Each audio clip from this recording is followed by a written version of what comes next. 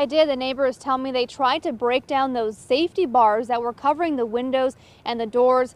Firefighters were also trying to break them down. They were able to break a few of them and get inside the home to fight the fire. However, it was too late.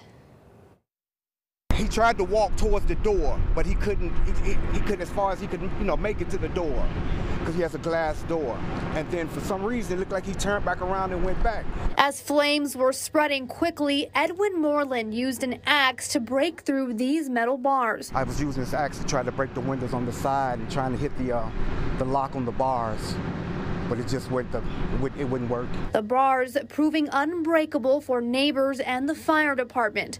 The man died inside his home. We just couldn't get the lock off, and. Uh, try to get him out. These bars can be sufficient in preventing burglaries. They make it hard for people to get in, but sometimes it can also be hard for people to get out during emergencies. Homeland Security says 25 people are injured or killed each year from fires where escape is compromised by burglar bars. If you have these bars installed in your home, make sure they have a quick release mechanism that will allow you to escape in an emergency and know how to use it.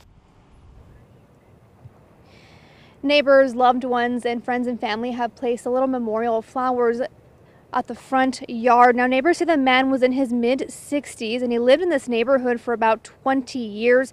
Neighbors describe him as a good man.